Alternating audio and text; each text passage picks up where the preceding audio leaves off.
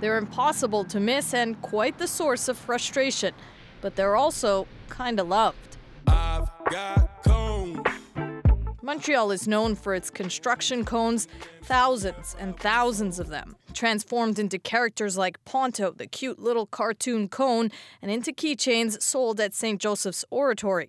Cute, yes, but it's the visceral hatred the real cones elicit that has the province saying enough is enough. Road work will still be there, but it will be better coordination, less visible, less aggressive, and perhaps less orange cones everywhere all the time.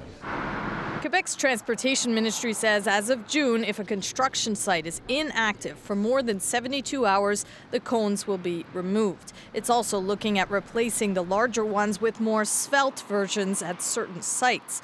This after a study found 94% of downtown Montreal streets were either partially or totally closed for construction in the past 12 months. There's way too many, and they're too big. And, and you know, we should not be treated as a region. This is Montreal. This is an international city. We deserve, you know, to have a cleanliness, a fluidity. What do you think of this? No comment. What about you? No? What's it like to be both loved and hated?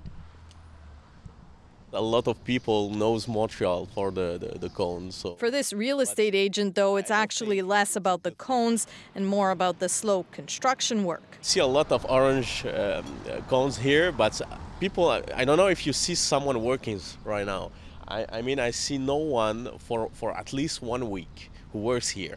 Others wonder how a 72 hour limit will actually be applied. I have logistical questions around that. Like, okay, you're going to move them and put them where?